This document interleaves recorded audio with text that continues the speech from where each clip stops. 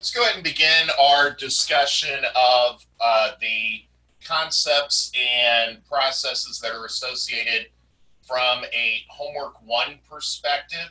Uh, what we're going to take a look at uh, here in this uh, first homework assignment is a lot of terminology and concepts involved relative to uh, things that are involved in the realm of statistics. So uh, this will be one of the very few chapters or homework assignments that's going to involve a lot of terminology. The rest of them will involve calculations that we will be utilizing Microsoft Excel inside of the course to help us uh, do the respective calculations for the course. So, one of the first things that we're presented with is data. And as a business analyst, as a person that works in any profession out there, be it business, nursing, uh, computer science, information technology, regardless of the field that you're going to be getting into, data is something that is very important when working in the realm of statistics and trying to make inferences or decisions from data. Data is nothing more than an observation. If I came in and started collecting data uh, from the class. I would identify everyone's gender as either being a man or a woman inside of the respective class. So data is nothing more than the collection of given observations that takes a specific value. That's all that data is in, in a nutshell there. Now, the analyzing, uh, analyzing or putting together items and making conclusions about the data is the study of statistics and truly is the reason why you are taking this respective course.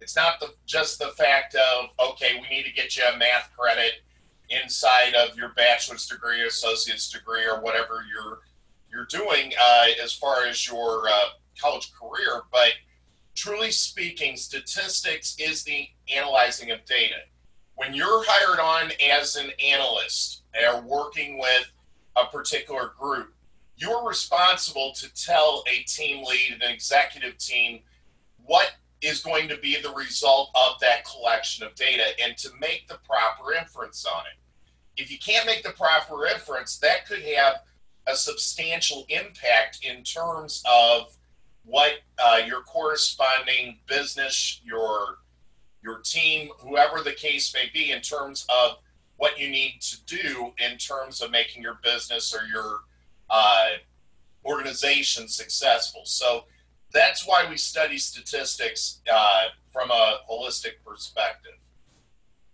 Now, when we deal with collection of data, it falls into two categories. The first of which is the population, and the next one is going to be called a statistic.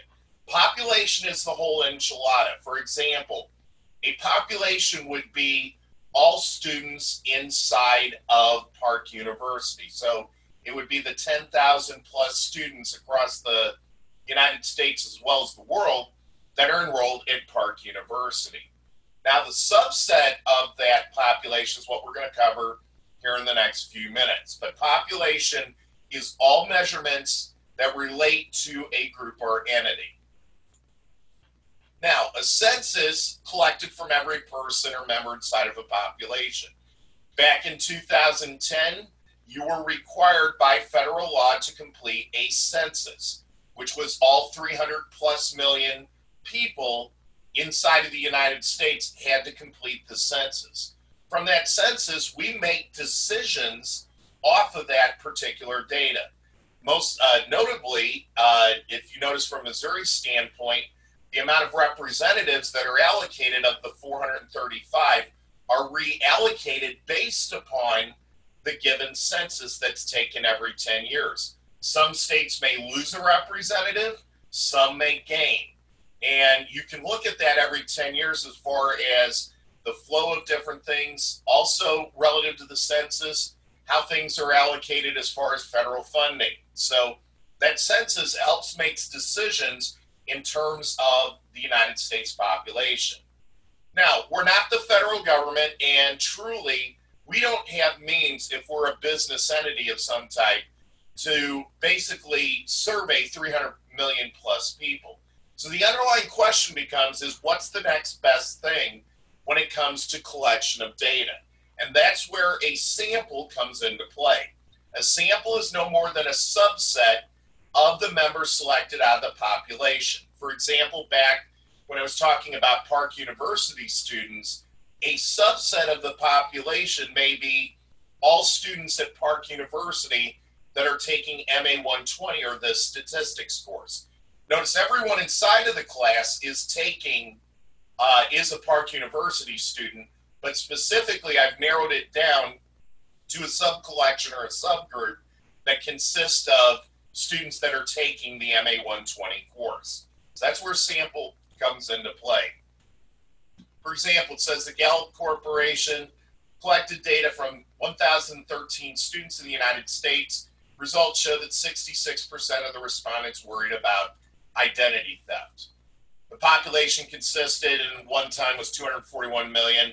I'm assuming now that's well over 300 million, but the population of that came from the 241 million, uh, and they surveyed or took a sample based upon U.S. population individuals. So that 1,013 came from the 241 million uh, individuals in the United States. As it makes mention, the sample consists of the 1,013 polled. The objective was that the sample data is a basis for making a conclusion about the population.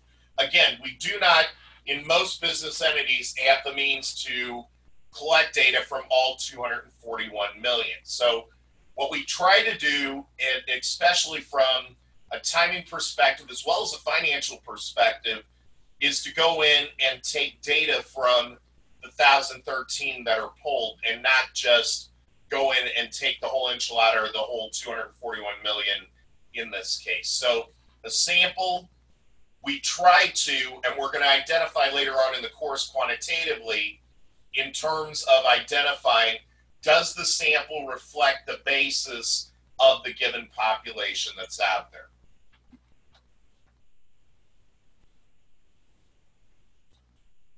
One additional component that we need to make sure that we keep in mind is when we collect data, is that data precise? Is it accurate? And do we want to, or we want to ensure rather, that there is no biasness that's introduced inside of that data? I may go around to all of you tonight and go in and ask the question, do you like the St. Louis Cardinals? By the way, if I if you say yes to that question, odds are you're probably going to get some bonus points this evening.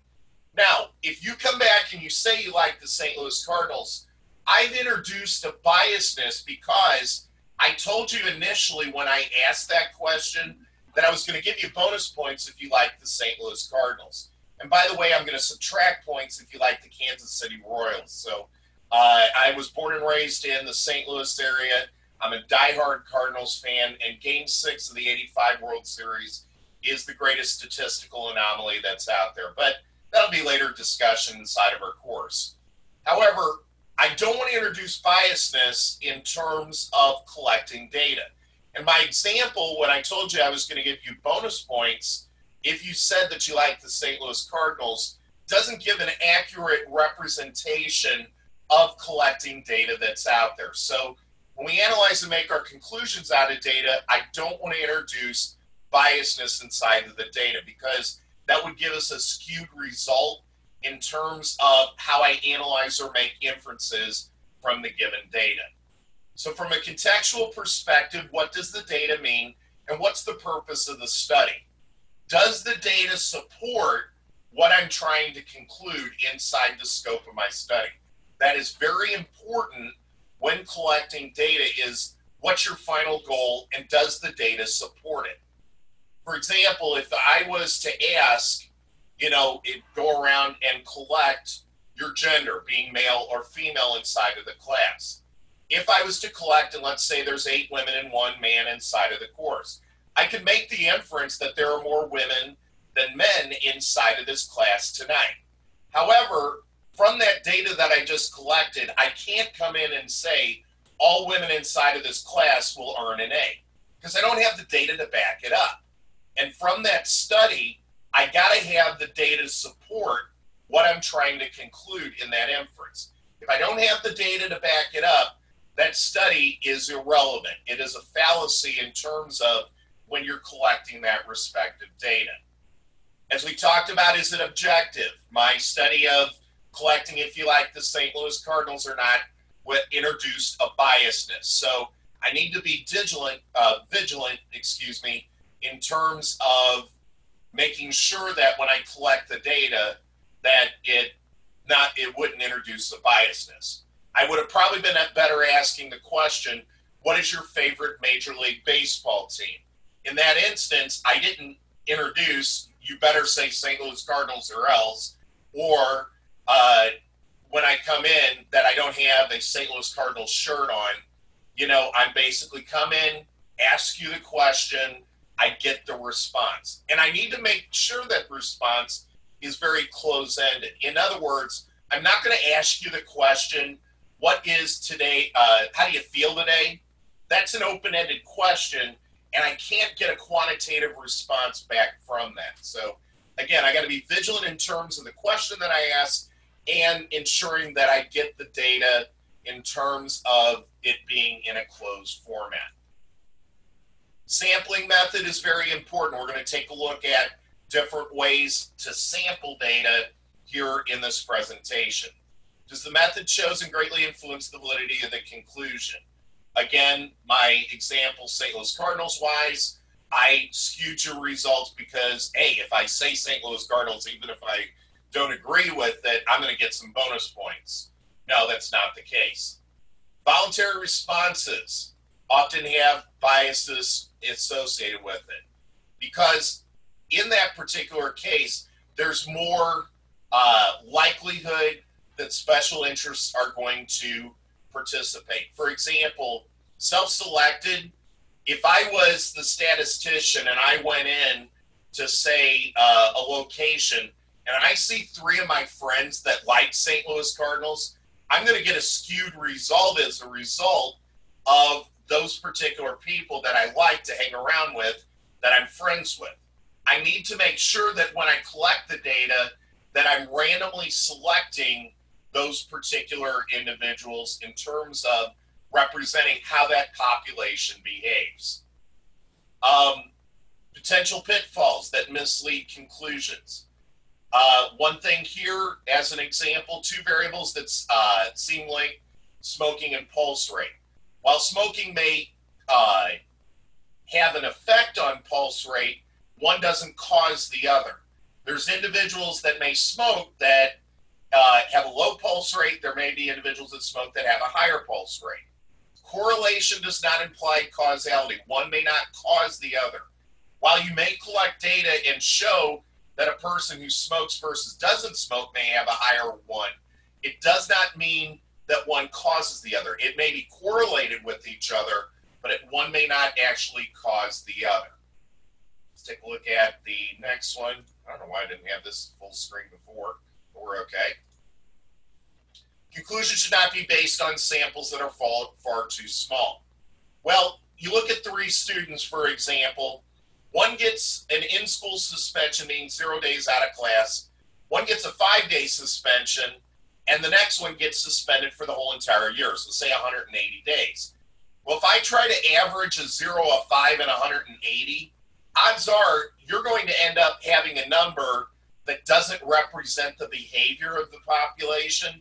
In that instance, if I only survey three students, that's really not going to cut the mustard in terms of reflecting the behavior of your corresponding population. So the sample of three students is really not going to be accurate in terms of identifying the behavior of that corresponding data. Loaded questions.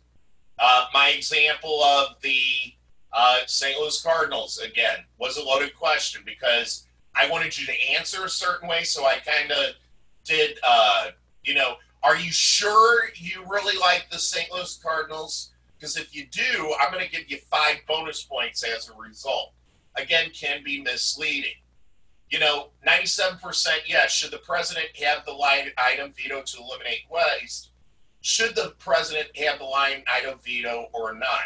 So the first one kind of, you know, led you in a certain way, it was loaded, versus the other one, should the president have a line item veto? Yes or no?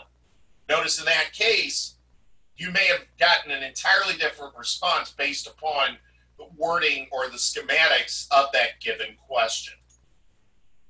Some other ones, questions are unintentionally loaded by such factors as the orders of the terms.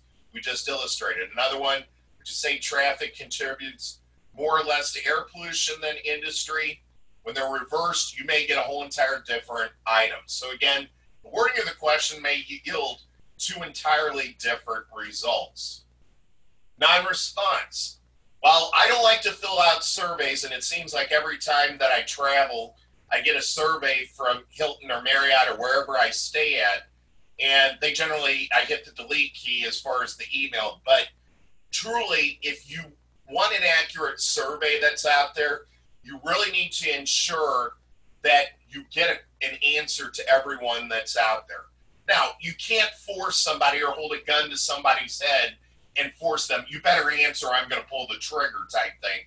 No, that's not what I mean. But in terms of trying to eliminate the no answer or I don't care type of response. You want to make sure that if the question is yes or no, that you get a yes or no, or you get a finite number of answers when uh, those particular items.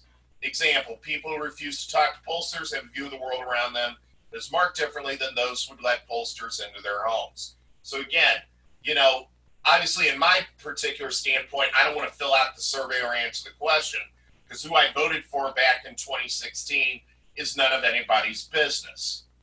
And it wasn't Trump, but uh, uh, but uh, again, it's it's none of anybody's business in terms of you know my my vote is my right as an American citizen, and I don't really feel that it's anybody's business. But again, I didn't vote for Trump. But uh, again, potential pitfalls in terms of non response can come into play. Uh, missing data can dramatically affect results. I'm a pharmaceutical company, and for example, I'm trying to come up with the newest drug for uh, solving uh, male pattern baldness, for example. And I leave out individuals that are in their 40s, for example. That could potentially skew the results in terms of the data that's collected. So again, you you really need to represent uh, your sample to behave like truly the population comes into play. Another example that's on the screen here: people with low incomes are less likely to report their income. So again, I may not get data from individuals that are homeless or low income. I need to ensure that I get that particular data into my sample to reflect the behavior of the entire population. Precise numbers. If you go and you're going to apply for a job here in the next few weeks, and one thing that's typically asked for on a job application is how much you made on your last job. I guarantee on that application you did not write down $57,234.12 that you made back in 2016 odds are you probably would have listed that as either 57,000 or 58,000. The precision on a job application really doesn't give you that much bang for the buck in terms of identifying the accuracy of the given data. Typically, people reply when the annual salary to the nearest thousand versus listing it to the nearest cent. Now, if you're reporting your income to the IRS, yeah, they want that to the exact penny.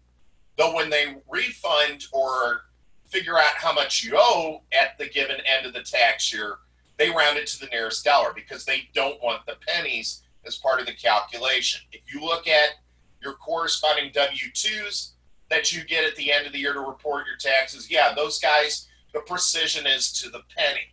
However, when it comes time to the uh, corresponding uh, reporting back, everything is expressed in terms of dollars. You'll notice even on a Missouri, a Kansas return, uh, as well as your federal return, everything's expressed as whole dollars. And that's actually been that way for many, many years.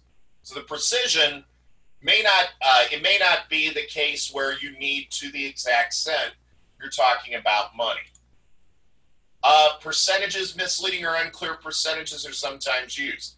Continental airlines ran an ad claiming we've already improved 100% in the last six months. Yeah right.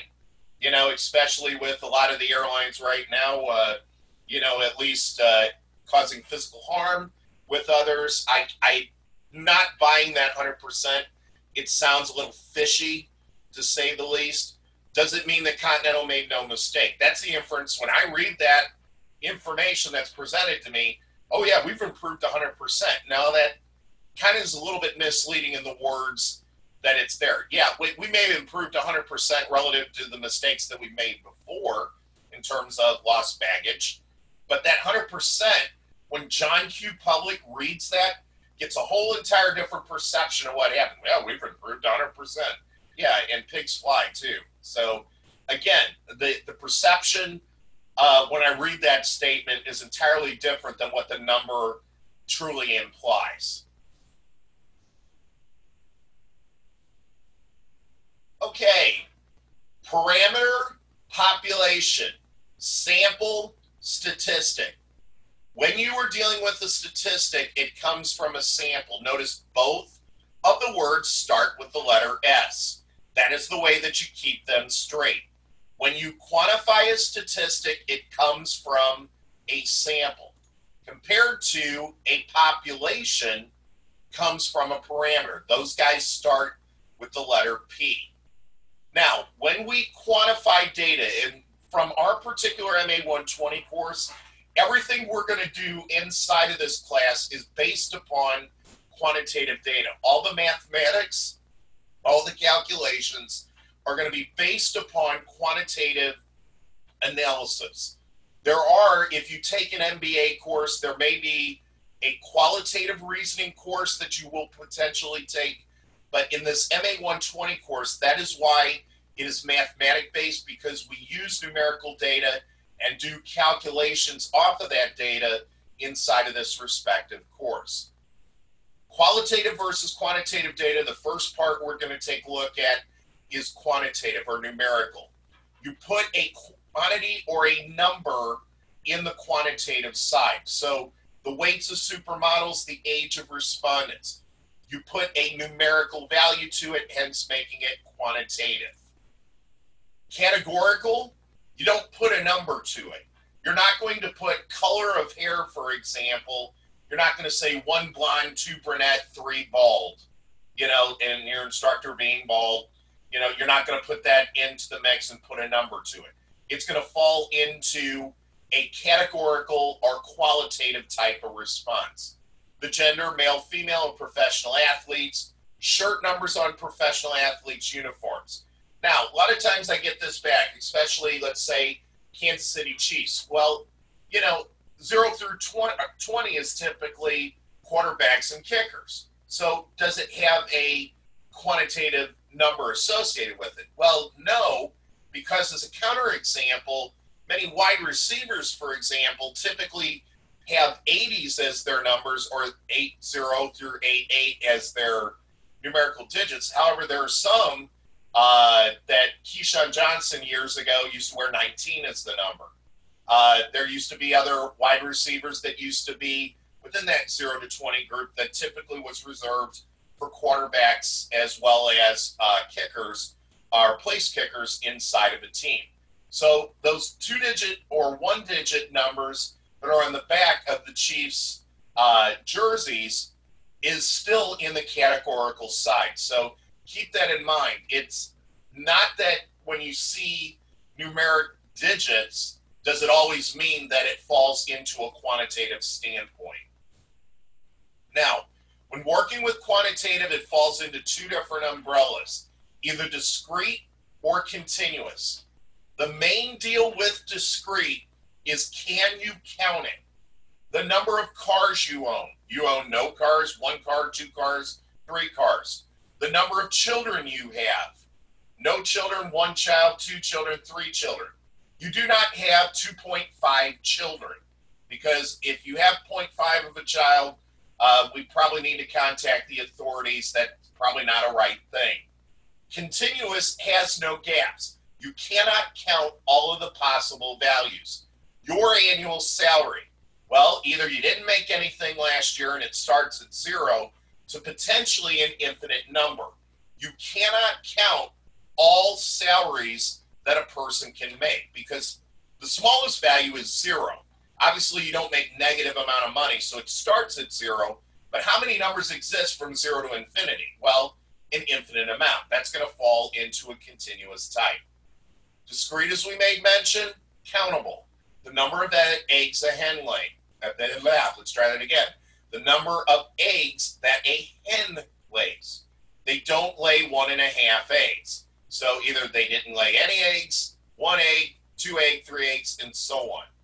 Now, that's countable. That's the measure of discrete. That's the key that is associated from a discrete data perspective. Continuous, infinite amount of numbers without gaps. Well, milk can be anything, let's say, two gallons to three gallons. Well, how many numbers are there between two and three? Again, infinite. There are no gaps in the measure. In this case, the amount of milk that a cow produces, again, could fall between two and three gallons. But how many numbers exist between two and three? There are an infinite amount of numbers that exist. That's why this one would be a continuous. And you are going to see inside of the first homework assignment that I'm going to demonstrate different examples where you're going to have to identify if something is discrete versus continuous. Another way classify data is by levels of measurement. We'll take a look at those different types here. Okay, nominal level of measurement cannot be arranged in an ordering scheme. You can't put any order to it. A survey response, yes, no, or undecided. If you put one to yes, two to no, or three to undecided, there really isn't a numerical value that you can put to it. Hair color, would also be a nominal level. You wouldn't put one to brunette, two to blonde, three to bald. It doesn't allow you to analyze or to do quantitative measures on it. So nominal is typically values that you cannot put uh, to a corresponding numerical or quantitative type of uh, response. Ordinal, yeah, you can use letters with it, but it has a specific order. An A is higher than a B, B is higher than C, C is higher than D, D higher than F if you're talking about course grade. So that is an example of ordinal. Interval involves data that can be arranged but does not have a natural zero part. So in other words, if you're looking at something from a chronological perspective, you can talk about BC before Christ or AD after Christ, 1000, 2000, 1776, 1492. If you're doing a historical perspective. There are things that happen BC and there's things that happen AD. So interval, two data values. However, there is no natural zero that's involved. Ratio has a zero starting point. So the cost of your textbook, you uh, purchased My Math Lab at roughly $105. So it can start at zero or can increase without bounds in that case. But the major difference with ratio it has a zero starting point.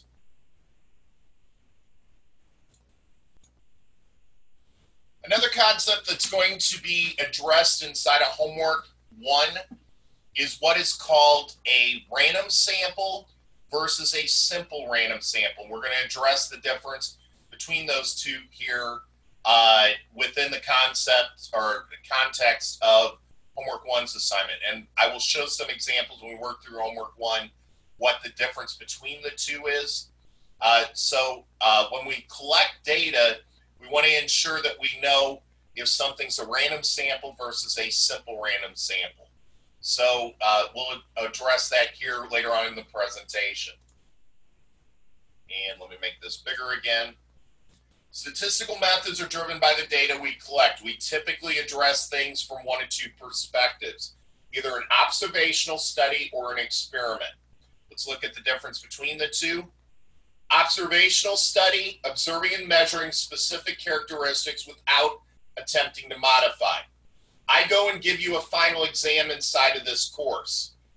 I want to study the behavior of how you learn the material over the course of the eight weeks inside of this MA 120 class. That is an observational study because I present you with the final, you complete the problems, I then collect the data, i.e., your score, based upon your performance. Now, that's an observational study. An experiment, I modify the behavior. For example, on that same final exam, I go in and I give you half of the answers to, say, the 20 problems that are on that final exam. So I've already given you 10 of the 20 questions answers.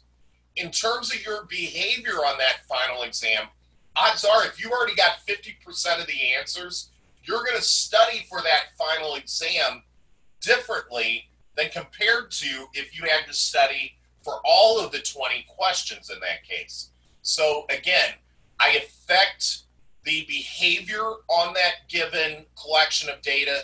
That is an experiment. And we'll see other examples inside uh, the presentation as well as inside of homework one, where you're going to be asked to determine if something is an observational study versus an experiment. The Pew Research study surveyed 2,252 adults and found that 59% of them go online wirelessly. This is an observational study because all we did is we asked the 2,200 roughly uh, individuals if they go online wirelessly. There was no change in the behavior. I just asked the question Do you go online wirelessly? i.e., is, is it your smart device, your PC? Do you have wireless access? I asked the question yes or no. That's an observational study.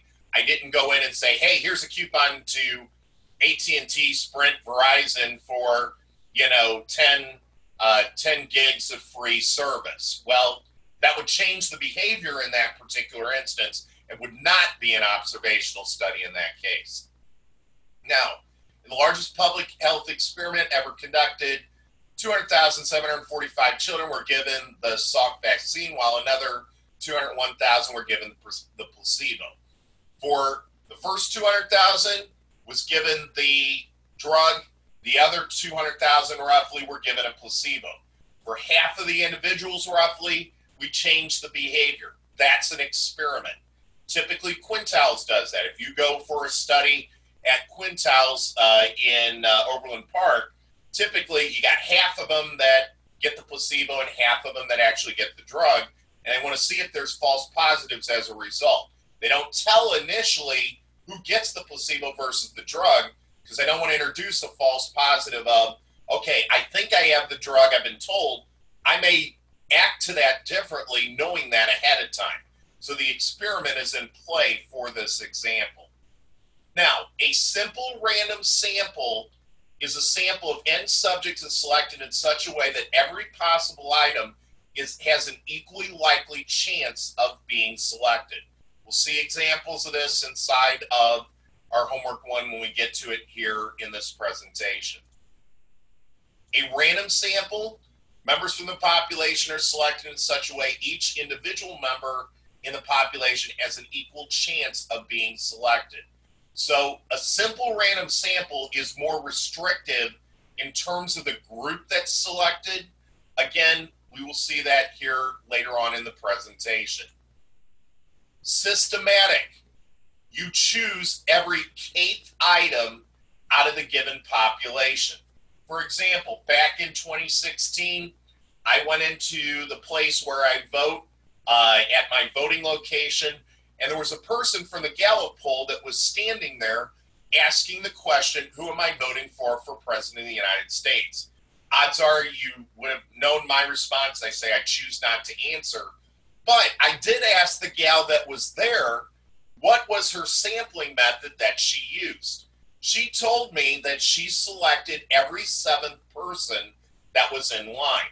Notice by selecting every seventh person, that is considered to be a systematic sample because she selected the seventh person in line, the 14th person, the 21st, the 28th, the 35th, and so on.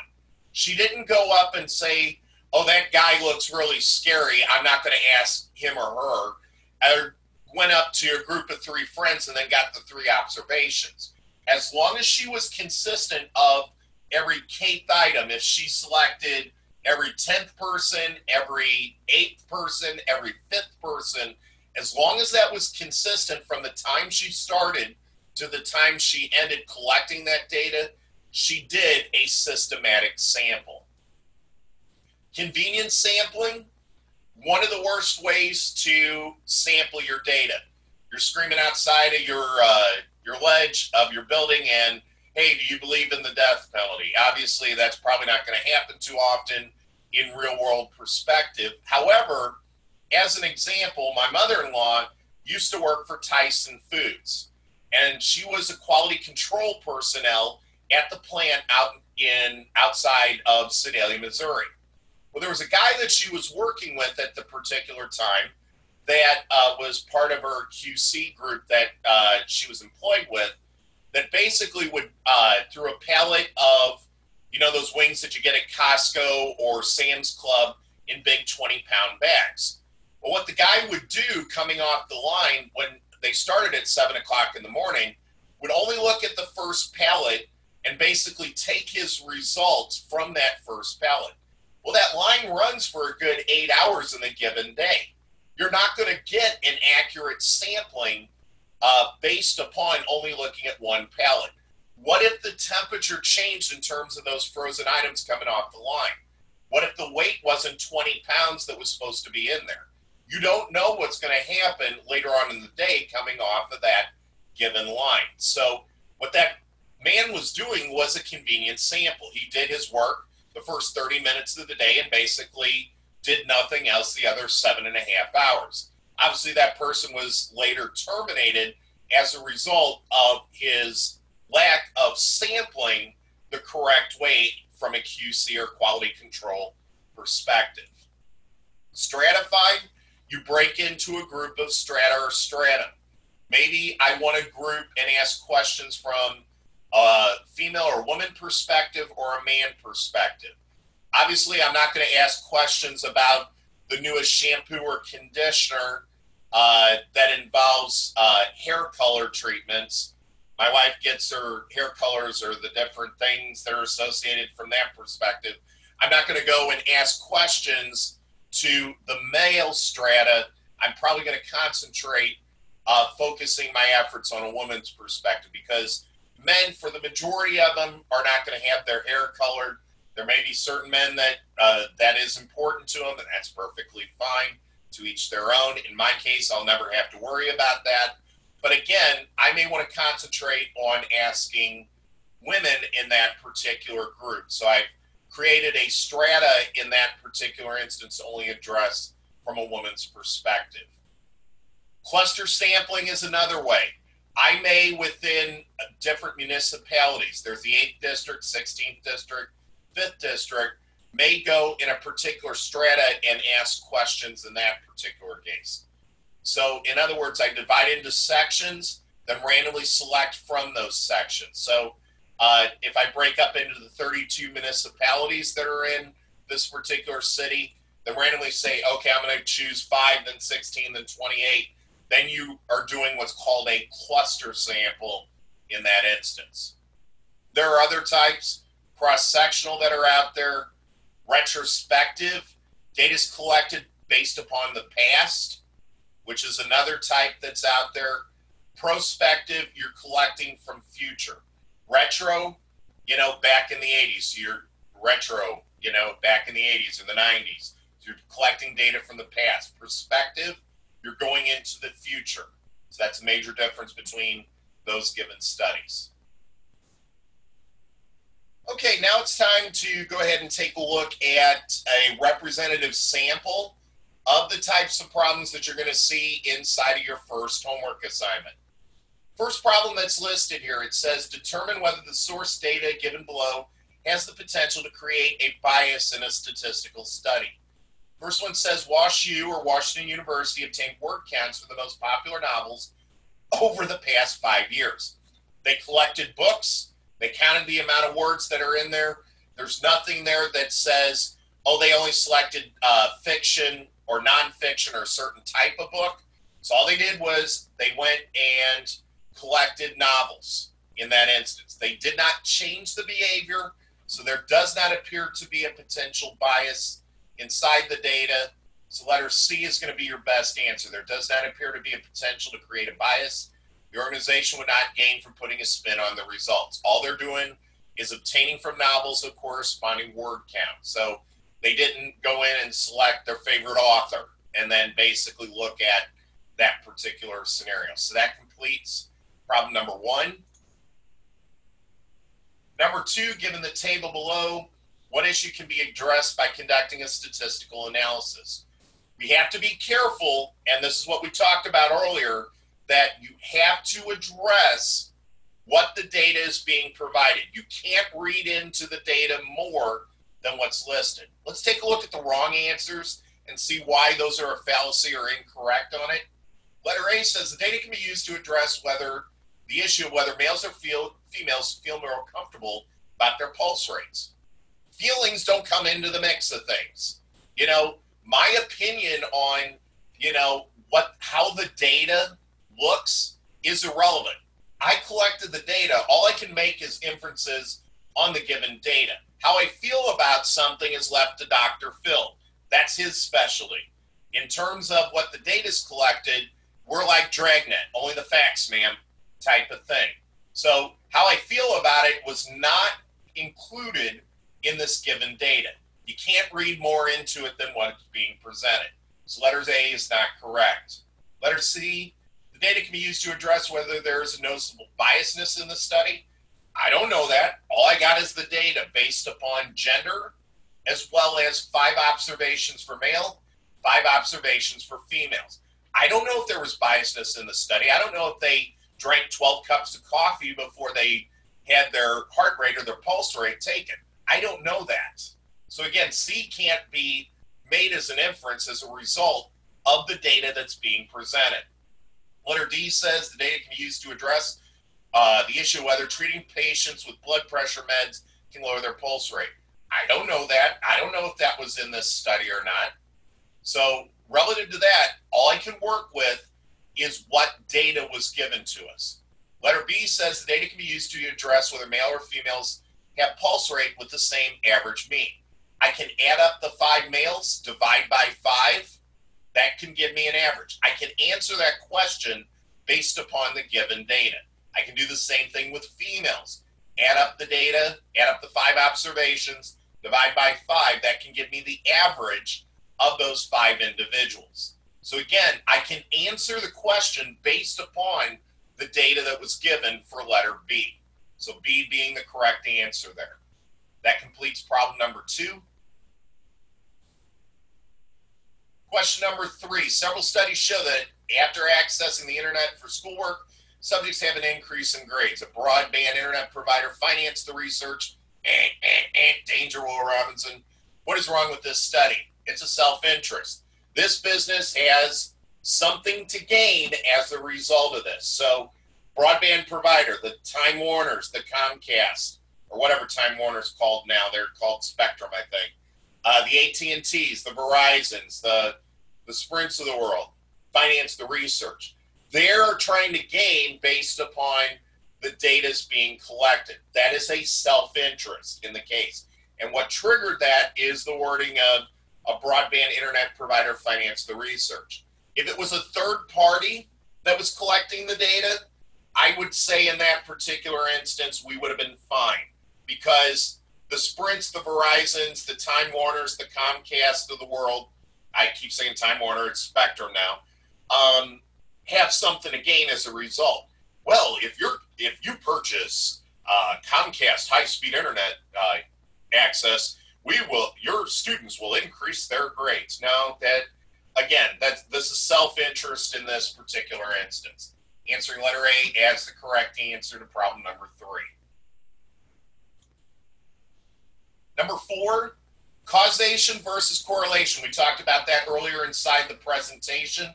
It says based on a study of weights of men and women who are vegetarian, a researcher concludes that eating vegetables can cause people to lose weight. Yeah, one may cause the uh, or other, or excuse me, one may have a correlation with each other, but one may not necessarily cause the other. Some people may eat vegetables that have very high carbs in it, and may actually increase their weight in that instance. So while one may be correlated with each other, it may not exactly cause it. So if I look at the four options, letter A is going to be our best answer because there may be a relationship or a correlation between vegetarian diet and weight loss, but one does not mean one causes the other.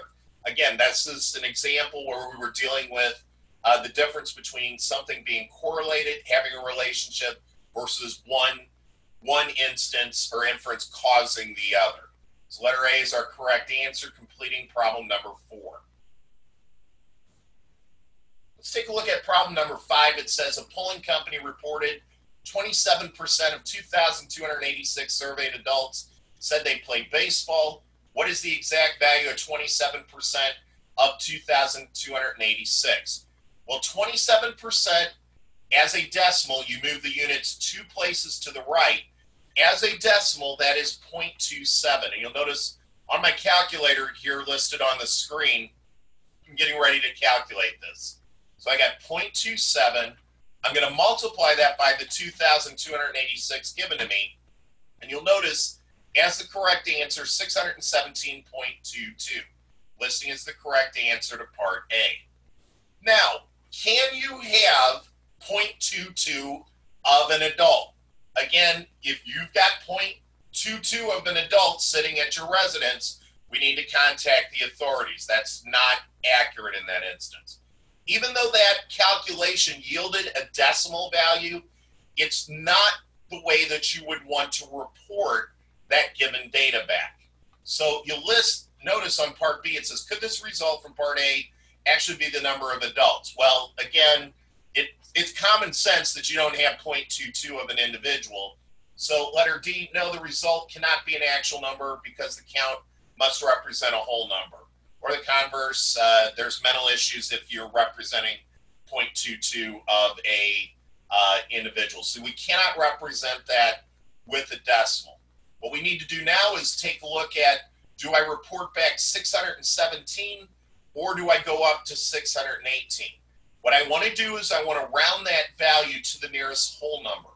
If I look at the two in that number, the underlying rule is 0 to 4 you go down, 5 to 9 you go up. If I look at that first two there, I'm going to go down, which will lead me with 617 in that instance to the correct answer to part C. Now, for the other piece of this, part D, it says among the 2,286 respondents, 1,553 said they'd only play hockey. Well, how do I get that percentage? Again, if I pull up my calculator, I'm going to take the 1553 out of the total sample space of 2286.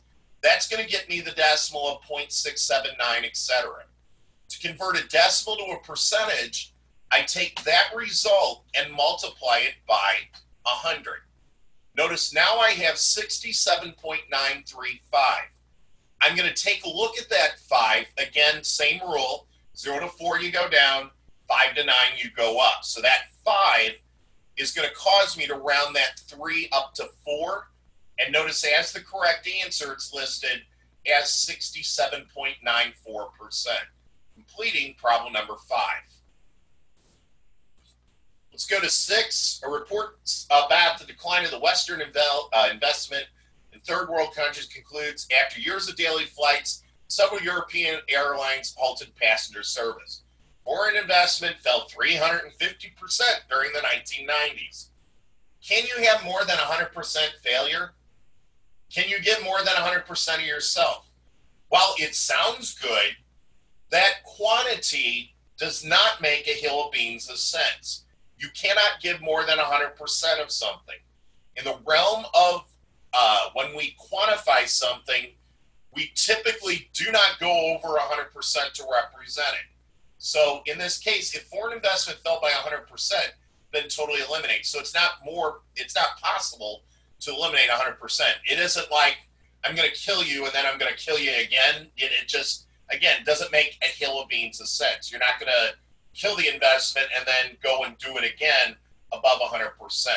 Again, you can only give 100% of yourself. It doesn't make sense to do more than that. So that's why letter B is listed as the correct answer to problem number six.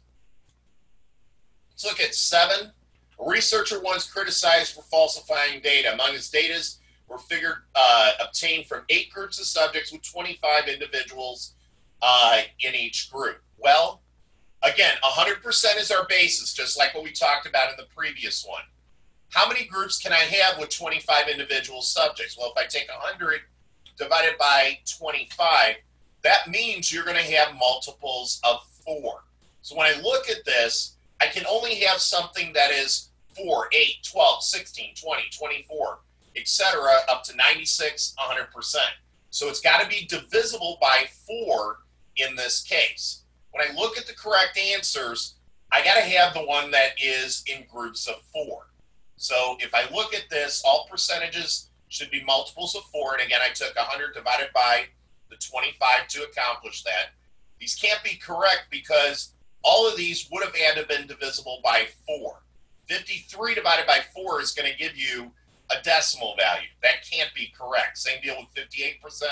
58 divided by 4 is not going to have 0 as its remainder. So, again, I took 100 divided by 25 to identify the 4, which confirms that these values are a fallacy, that they are not accurate. Completes number 7. Number 8, in a study of 3,688 professors at a college, it's found that 40% own a television. Okay. All professors were studied at a college. Population parameter. Remember, they start with P. P population parameter, S for sample and statistics. So all professors were studied at a college. We're dealing with a population. Population and parameter are synonymous. If it said out of a study at a college they sampled somebody, sample would have been statistic. But since everybody at the college was surveyed, that is population, which is a parameter. Parameter becomes the value as a numerical measurement describing a characteristic of a population. Completing number eight. Let's take a look at problem number nine. Number nine says determine whether the value given below is discrete or continuous. Again, if it's the case where you can't count all values, it's continuous. If it's countable, it's discrete. Volume of a cola in a can is 10.5 ounces. Well, can you count all possible values that are in a volume of a can of Coke or Pepsi? The answer to that question is no. It's continuous. Continuous, you cannot count all of the observations. Completing number nine. Number 10, same deal. Uh, determine whether it's discrete or continuous. Number of days of rainfall in a year is 15. You can count the number of days in the year. No days of rainfall, one day, two day, three day, all the way up to 365 or 366 if it's a leap year. Since it's countable, it's discrete as its correct answer to problem number 10. Number 11 is asking the difference between an observational study or an experiment. Research is conducted to determine if there is a relationship between colon cancer and fat consumption. Well, there's nothing there that we have a placebo group uh, and a group that was given a specific drug. It's just they observed what was happening. There was no change in the behavior. Hence, observational study is selected as the correct answer to problem number 11. Number 12 again addresses observational study and an experiment. In a study sponsored by a company, 14,359 people were asked what contributes most to their happiness, and 66% of the respondents said it was their job. Well, again, no, we didn't hold a $10 bill in front of the employees and ask them that to answer as far as a job perspective. There was no change in the behavior of this Again, it is a given observational study. So notice letter C, study is an observational study because there was no treatment. You did not change the behavior of this particular study. So problem number 12, letter C is its correct answer. Number 13 addresses the different types of sampling that's out there. The key to this particular one, when I read this, a researcher selects every 807th social security number and surveys the corresponding person. Every eighth person, in other words, 807th, and that 807 sounds like a pretty odd number there, but as long as they selected every 807th person, this is systematic. And we talked about this earlier in the presentation. Hence, systematic sampling is the correct answer to problem number 13. 14 is going to address the difference between a random sample and a simple random sample. A worker assembles one item every 15 minutes, so 160 items are completed in the first week of work. Her manager checks the work by randomly selecting a day of the week, then reviewing all the items she completed that day. Does the sampling uh, plan result in a random sample and or a simple random sample? Is it a random sample? Yes, because choosing from all 160 items, equal chance of being selected.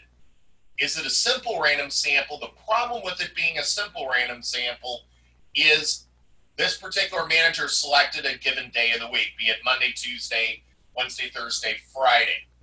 All possible groups did not have an equal chance of being selected because if you select Monday, for example, Tuesday through Friday, if those are the working days of the week, did not have an equal chance of being selected.